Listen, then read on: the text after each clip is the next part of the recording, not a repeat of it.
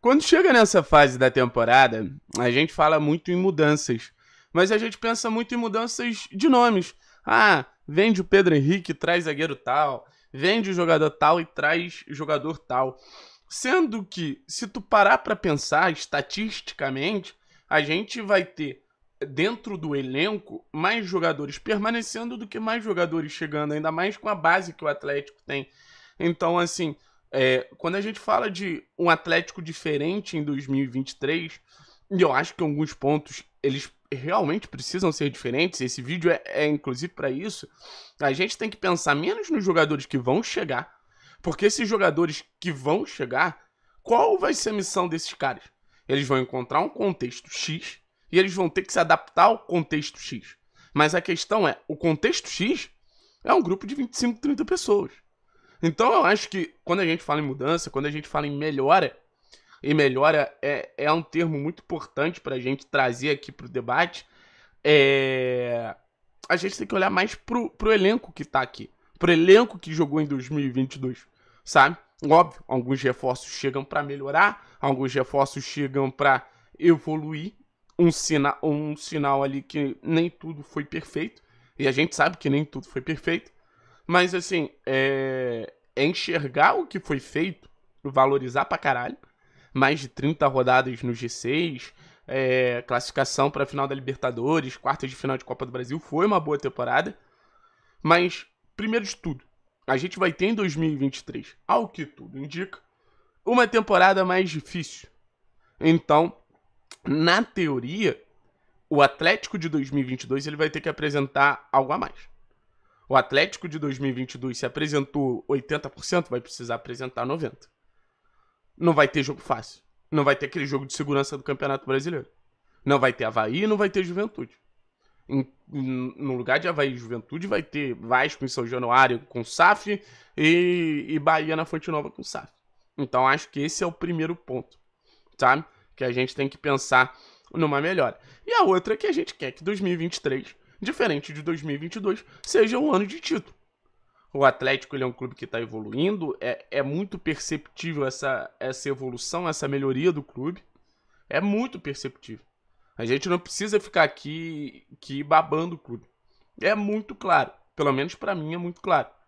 Só que não dá para abandonar o gostinho da conquista. A gente pode valorizar as campanhas. Eu acho que a campanha da Libertadores de 2022 foi uma das grandes campanhas da história do clube. Mas ser campeão tem que ser sempre uma prioridade. Então, vou mandar um abraço para KTO Evolução Pisos United Gym. Lembrando que você pode usar o nosso código 3 pontos lá na KTO e ganhar 20% de bônus. E lembrando também que a Evolução Pisos é a melhor loja de pisos de todo o Paraná, lá de Ponta Grossa, mas pode ser a loja certa para o seu negócio, para a sua casa, para o seu estabelecimento, já que atendem no Paraná inteiro. E eu vou trazer, como sempre, meu roteirinho, né? Porque eu sou esquecido. E vou falar de melhorias que esse time do Atlético, principalmente dos jogadores que ficaram em 2022, eles precisam. Pra gente ver um Atlético mais forte, pra gente ver um Atlético mais consistente, pra gente ver um Atlético mais preparado para voltar a ser campeão, um Atlético mais preparado para uma temporada que promete ser muito difícil. E o número 3 é, é um ponto interessante, que é mais protagonismo aos pontos. Eu acho que se teve uma posição que a gente investiu na temporada foi o lado do campo, né? Em 2021, a gente sofreu muito depois da saída do Vitinho, então parecia que era uma prioridade ali para para a diretoria em 2022 a gente ter jogadores lados de campo mais consistentes. 13 milhões no Coelho, 15 milhões no Canóbio, conseguiu trazer o Vitinho de volta, que não é um salário barato, que não é uma negociação fácil. Só que a gente viu ao longo da temporada esses jogadores entregando muito pouco. A gente viu ao longo da temporada uma expectativa muito grande. E é normal que você tenha uma expectativa muito grande devido ao nome que esses caras têm, ao histórico que esses caras têm.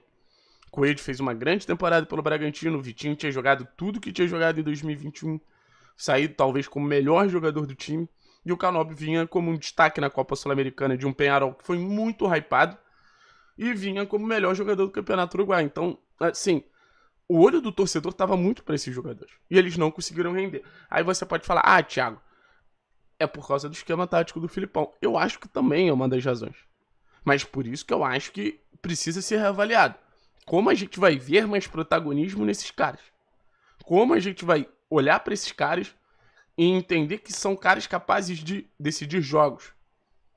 Como é que a gente vai olhar para esses caras e falar assim, pô, são caras que têm toda a capacidade do mundo de decidir situações, de aproximar o Atlético do gol, sabe? Então eu fico então eu fico assim, numa expectativa muito grande. O Vitinho é um cara que tem capacidade de decidir jogos, o Coelho é um cara que tem capacidade de decidir jogos.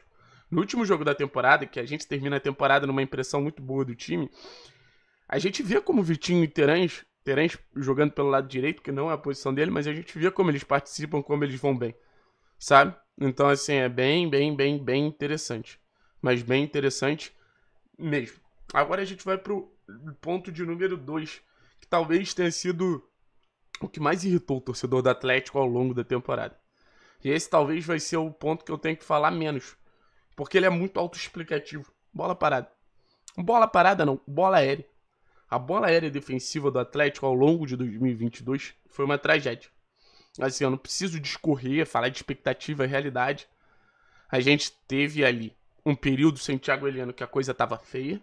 O Atlético sofria muito. E parece que quando o Thiago Eliano voltou, a coisa ficou pior. E, e, dificilmente o lance era ali no Thiago Heleno. Então também mostra uma necessidade da gente ter um zagueiro mais alto. Porque muito dos lances a gente perdia claramente na imposição física. E também mostra a necessidade da gente ter um jogador mais próximo do nível do Thiago. A realidade é essa. Não dá para o Atlético ter um zagueiro nota 9 dentro do cenário do futebol brasileiro, lógico, e ter um companheiro nota 6. Essa discrepância que faz o Thiago Heleno fazer uma boa partida e não falhar. E essa distância que faz, o, por exemplo, o Pedro Henrique fazer uma boa partida e falhar. O Matheus Felipe fazer uma boa partida e falhar. Então a gente tem que resumir e, e diminuir essa distância para que a gente não veja a diferença acontecendo. Para que a gente não veja um detalhe botando resultados em questão. Foi problema de posicionamento, foi problema de organização de linha de coordenado. Então, assim, a comissão técnica ela também tem que dar um olhar para isso. Óbvio que o Atlético ele precisa buscar algum jogador, enfim, mas a comissão técnica tem que olhar para isso de uma forma que a gente não sofra tanto. Se a gente não perdesse tantos pontos de bola aérea, velho, talvez nosso campeonato brasileiro tivesse sido muito mais tranquilo e tivesse rendido muito mais, já que o Atlético estaria numa posição maior eu não teria sofrido tanto para se classificar para Libertadores, teria uma premiação melhor, enfim. E o ponto de número um, que é, assim, para mim o que mais me incomodou, mais do que a bola aérea, eu vou trazer uma frase que eu costumo repetir, uma frase de Carlo Ancelotti. Jogada que começa bem, ela tende a terminar bem. Não é essa frase, mas é, é algo bem é algo bem parecido que o Ancelotti ele acaba ele acaba falando. E eu acho que o Atlético ignorou essa frase completamente. Difícil era perceber uma jogada que começava bem. Difícil era perceber uma jogada que as coisas aconteciam ali de maneira encaixada na origem da jogada. Ah, Thiago, mas o Atlético não tem zagueiros bons de construção. Eu acho que ninguém nasce bom. Você precisa ser estimulado. E o Atlético, ele buscava a todo momento bolas longas para o Pablo brigar ou para a gente pressionar e buscar a segunda bola. Em algum momento, isso pode ser eficiente. Em algum momento, isso pode ser muito bem utilizado. Mas a todo momento, não. O Atlético era desequilibrado nessa saída de bola. Era só bola longa, era só bola longa, era só bola longa. Você não tinha, por exemplo, uma bola curta. Você não tinha, por exemplo, uma bola ali que, que fazia o jogo o jogo funcionar. Então, assim, eu sinto que se o Atlético, que tem jogadores para isso, tem laterais para isso, tem Fernandinho para isso, tem outros jogadores ali do meio campo para qualificar essa saída de bola. Se o Atlético consegue qualificar essa saída de bola, meu velho, eu acho que a gente vai ter um jogo muito mais próximo do que o torcedor quer ver. A gente vai ter um jogo muito mais próximo do que o torcedor acha um bom jogo. Porque a gente debateu algumas vezes, ah, mas o Atlético não joga bem, mas o que é jogar bem? É ter um time ofensivo, é ter um time vertical, é ter um time que construa o jogo. Não é um time que funcione quase que no aleatório. Então, assim, esses são os pontos que eu acho que o Atlético precisa priorizar para melhorar na próxima temporada. Valeu, rapaziada? Tamo junto, é nóis.